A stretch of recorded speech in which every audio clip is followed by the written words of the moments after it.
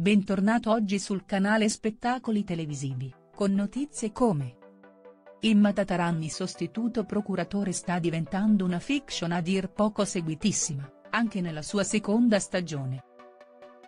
E la cosa che ha maggiormente attirato l'attenzione dei fan è che come interprete è stata scelta una bravissima attrice che però non è mai stata prima d'ora particolarmente conosciuta. Il suo nome è Vanessa Scalera, ma quanto sappiamo di lei e della sua vita privata? È forse sposata o fidanzata? Ha dei figli? Quanto e che cosa sappiamo di preciso di Vanessa Scalera, la bravissima interprete del sostituto procuratore Imma Tataranni? Vanessa Scalera, che sappiamo del suo privato? Chi è Vanessa Scalera, la protagonista della fiction Imma Tataranni, sostituto procuratore in onda su Rai 1?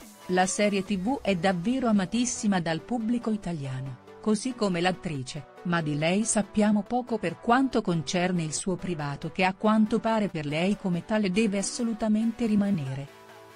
La donna, pur avendo origini pugliesi, vive a Roma ed è molto ma molto riservata.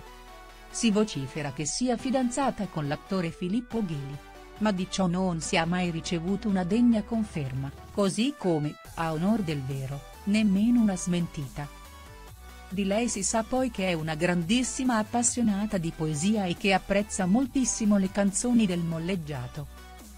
Si è trasferita dalla Puglia a Roma per studiare recitazione. Nata il 5 aprile del 1977, Vanessa Scalera è una delle attrici più amate del piccolo schermo. La donna proviene da un piccolo paesino in provincia di Brindisi, ma ha lasciato presto la Puglia per avvicinarsi alla recitazione, il suo immenso amore. E così, come abbiamo già poco fa accennato, si è trasferita nella capitale, dove ha studiato e frequentato moltissimo il teatro, esibendosi pure sul palcoscenico. Tuttavia il grande salto lei lo ha fatto soltanto in un secondo momento, con il debutto al cinema.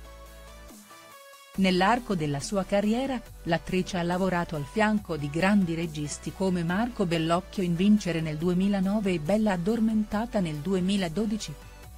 Ha lavorato con Nanni Moretti in Mia madre e a seguire è apparsa nel cast di Nome di donna, Il ladro di giorni e L'Arminuta di Giuseppe Bonito. Quell'anno ha dato il suo contributo anche a Diabolic, film dei Manetti Bros. L'ultimo film che l'ha coinvolta nel 2022 si intitola Corro da te. Deve la fama a Imma. Prima di recitare in Imma Tataranni, sostituto procuratore che gli ha donato un'immensa fama, la Scalera ha debuttato nel 2005 in Padri e Figli. Dopo è apparsa in Donna Detective, in RS Roma 2, Delitti Imperfetti, Distretto di Polizia 11 e Squadra Antimafia, Palermo Oggi 3. In seguito ha recitato in L'Aquila, Grandi Speranze. Nel 2020, è entrata nel cast di Romulus, serie televisiva in onda su Sky. Punto grazie per aver guardato l'intero video.